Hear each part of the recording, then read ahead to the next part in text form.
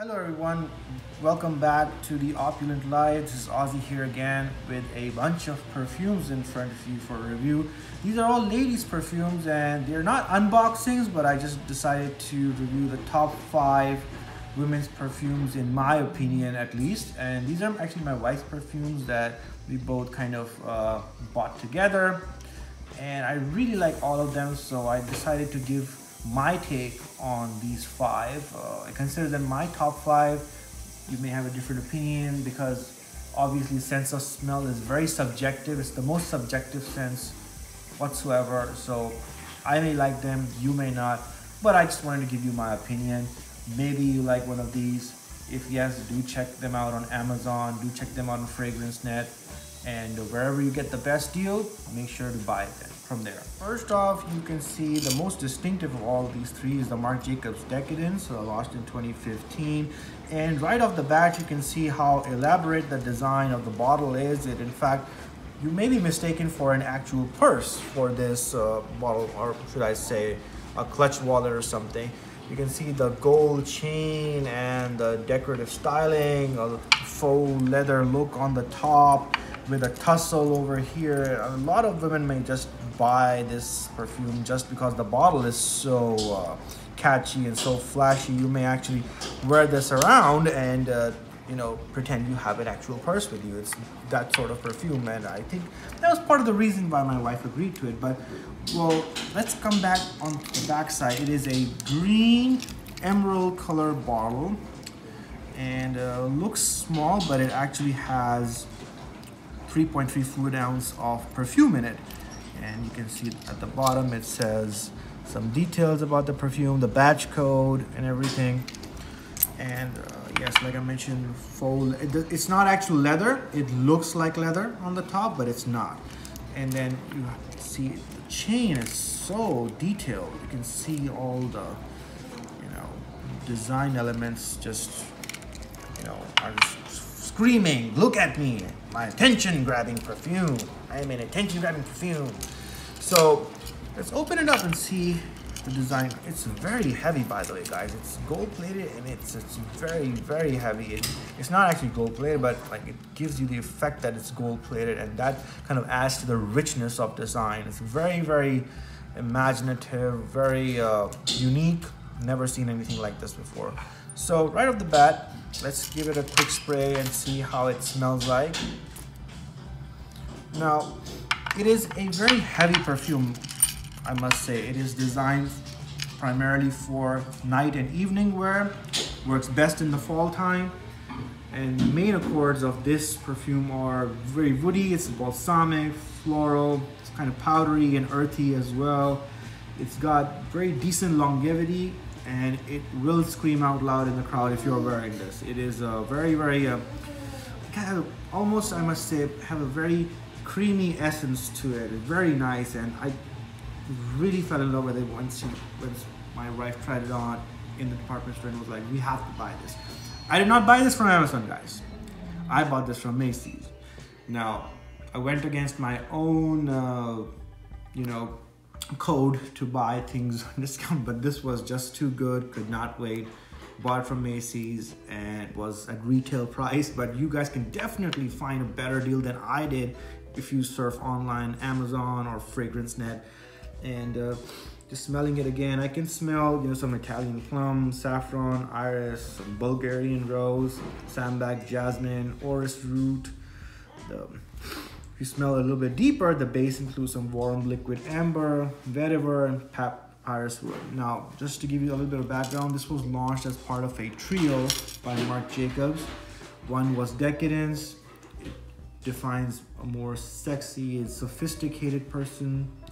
Then they also launched Daisy, which is kind of like the sweet girl next door. And then the last one is Lola, which is kind of like the quirky one. So it was launched as part of a three girl collection and each one represents a pillar of, you know, their personality. So very rich perfume, very nice, very long lasting. And, uh, but definitely I will say this is not designed for, you know, in a gathering where there's a lot of people. This may be very, very strong and it can be offensive to people if you wear very strong perfume in small enclosed rooms. So be careful of that. It's one thing to be uh, mindful of. So that was the Marc Jacobs Decadence. All right, next we have the Bulgari Rose Goldea. This is one of the more recent acquisitions by my wife. Again, breaking our own rules. She bought this from Macy's at retail. Oh my God, hurts saying that. But yeah, she bought it from retail. She did not wait for Amazon. She does not exactly uh, follow my uh, code of buying perfumes, but uh, you know, that's women. But okay, let's come to the design of the bottle first. It is a 90 milliliter Eau de Parfum. By the way, all of these, uh, most of these are Eau de Parfum. The Marc Jacobs was also an Eau de Parfum. That's why they're a little bit stronger. Now, looking at the design of this bottle, very beautifully crafted bottle with this uh, gold accented outer ring. Then the bottle itself in glass holds the perfume. Then you have this top cap, which has a little bit of a jewelry, like looked almost looks like some kind of uh, makeup accessory that's on top of this riveted gold rim over here very nice design elements if you look at the details there's some checkering as well and at the bottom you have just the details tells you the batch code and uh, what it exactly is. It's the, actually I must correct myself. This is actually rose gold accented it's not just pure gold. It's rose gold. It kind of goes with the name rose gold. Yeah. Open the top cap. Very light plastic nothing spe special. It's got this pink opalescent uh, powder like color on its front and back and it has the Bulgari name on the top very beautiful and then we test this perfume out giving a light spray it is very, very strong uh, rose, floral, and powdery. Immediately you can smell that and it'll stand out very much. Has some woody and musky notes to it as well. That's why I think we both like it because of that reason. Has a little bit of everything for uh, everyone. And I would recommend this for daytime wear, spring, summer, can work well outdoors, indoors, uh, more suited for casual gatherings or parties, uh, not something I would recommend for office wear. Very strong. Do not wear this in the office unless you want to attract too much attention. Uh, and that's the same thing for the Decadent. They're both really heavy perfumes. They're not uh, designed for casual wear. So that's why I would recommend be a little bit conservative with your sprays on this too. Smelling it a little bit more, I can smell some musk, creamy, sandalwood, olibanum. It's a very very expressive, very expensive smell, and it's got, it's got a distinctive oriental aroma to it. Uh, and uh, what else? I can sense some warm elements. You know, it's basically Goldea is is an homage to the gold and femininity inspired by goddess of gold, beauty of the sun. You know, it's got some sweetness of the ylang-ylang flowers mingling with the elegant white flowers of jasmine, neroli and uh, it was it was launched in 2016 of June so this is a latest launch it's not very uh, old it's only four years before they launched it. There are some other editions of this perfume as well on the market so check them out if you guys want something a little bit you like the main notes but you want something different at the top and the heart be sure to check those out. Overall very good acquisition can't go wrong with it. All right guys next we're gonna move on to chanel coco mademoiselle. Another classic from the House of Chanel, uh, no girl's wardrobe is complete without this perfume in my opinion and this is one of the best ones that she has. Uh, styling on the bottle is pretty plain simple, kind of like a champagne bottle as you can see with the translucent top, kind of in a crystal-like form. Take it off, nothing too fancy. But you can see it is still, it still has some elegance to it got the band of Chanel around the rim and uh, otherwise pretty clean and clear nothing fancy it's got an amber rose light rose colored uh, liquid inside it which is the parfum itself and just coming on to the details of this particular one when you spray it it is mostly a summer spring type. All right, so let's spray it and see what it smells like. Let's get a light spray. It is a lady's perfume after all. So right off the top, it is uh, strong, but it is not strong in the sense that it would make the other person uncomfortable. It is floral, it is citrus, has a little bit of woody and patchouli flavor to it as well. Overall, a very floral fragrance and ideal for summer and spring. However, this can be worn all year round, evening wear, daytime wear, you name it. It's that type of perfume. It works in all occasions and you don't need to spray a lot of it. Just a couple of squirts is enough and it lasts the whole day. It has very long lasting power and that is one of its key elements and one of its redeeming factors actually. So it's a very rich composition and uh, the heart of this perfume is basically jasmine and rose combined together. And other elements include Sicilian oranges, Calabrian bergamot, Sicilian grapefruit, and uh, lychee, some Indonesian patchouli, Haitian vetiver, bourbon vanilla, and some white musk. And this was introduced in 2002, and it is a variation of their very, very famous Coco Chanel perfume, which is almost 100 years old, I believe. And again, this is also made in France, so good quality overall. A must have, in my opinion, for all women.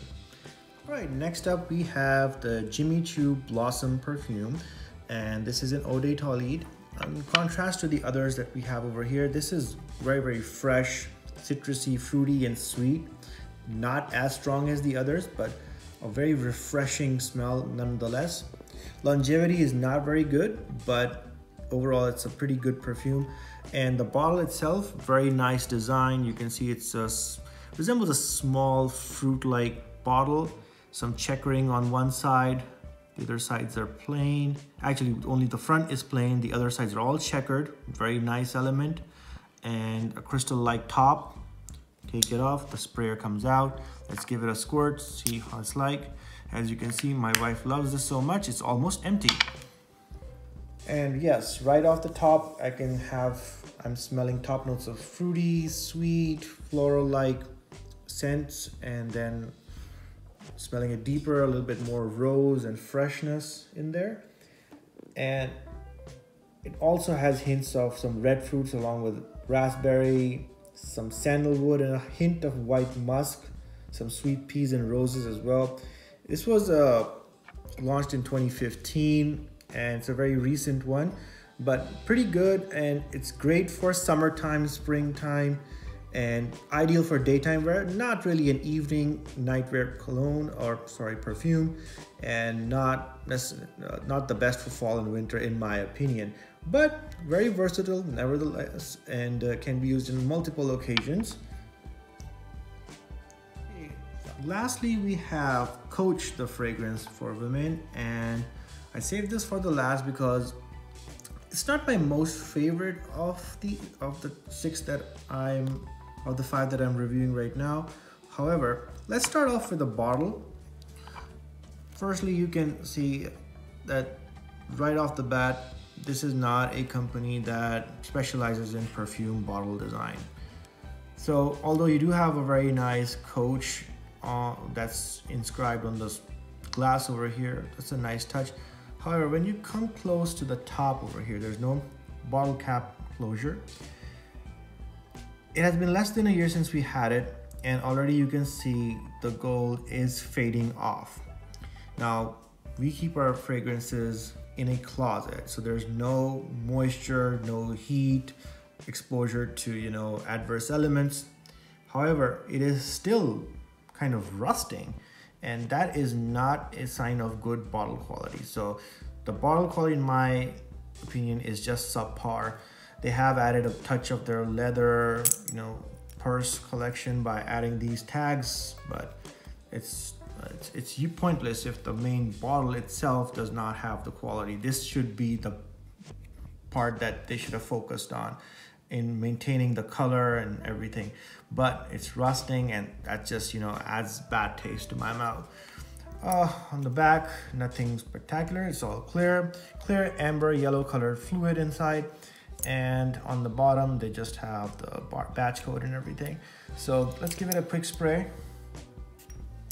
And well, this the fragrance is good. It's a mix of freshness combined with rose and floral elements. It's fruity and musky at the same time, which is kind of unique. So that's that's that's that's a good touch.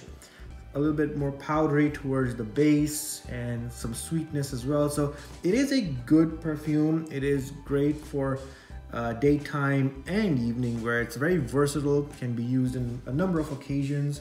I would recommend this in spring and summer, but you might actually be able to pull it off in fall and winter, I suppose. It's not uh, that type of perfume that you can only use in certain situations. It's not offensive, it's not too strong, it's not super light, it's kind of right in the middle. It's the perfect balance. And also has, now that I'm smelling it for a little bit longer, it has hints of raspberry leaves and pink pepper, pear, and uh, overall very energetic, energizing, very fresh. You know, kind of the typical all-American girl vibe in it. So it's uh, pretty cool, and in my opinion, it's a good fragrance to have. But definitely, bottle design is very subpar. I would recommend something better if you are the one to go for bottle designs. So, so anyways, that was my review of the top five fragrances for women.